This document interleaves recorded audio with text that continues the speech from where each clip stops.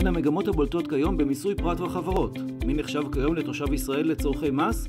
ואיזה מס צריך לשלם בארץ על עסקים בחו"ל? התייעצנו עם מומחי BDO במסגרת כנס המיסים ה-20 של BDO וגולדפרב זליגמן. בלי שנשים לב, ובלי ששיעור המס החברות עלה פורמלית, שיעור המס החברות האפקטיבי באשכול חברות הולך ועולה. עצתי למי שרוצה לשפר את מבנה המס שלו זה קודם כל לבדוק האם הוא יכול למזג ולבצע שינוי מבנה יעיל וגם אם לא, לפחות שיבדוק את מבנה מימון ההלוואות שלו וכמובן יש לזה השלכה ניכרת על האפשרות לחיסכון במס.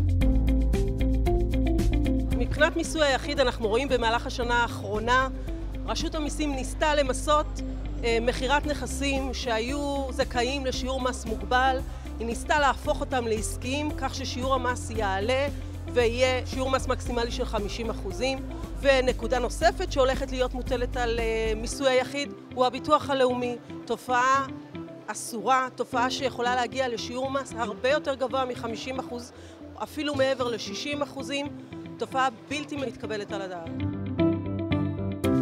רשות המיסים בעקבות פסיקות סותרות של בתי המשפט המחוזיים וכמה פסיקות מאוד משמעותיות של בית המשפט העליון הולכת לעשות מהפכה בכל הנושא של הגדרת תושבות. התכנון בתיקון החקיקה מתייחס לכך שמרכז החיים כבר לא יהווה את הפקטור המרכזי, אלא כמות הימים.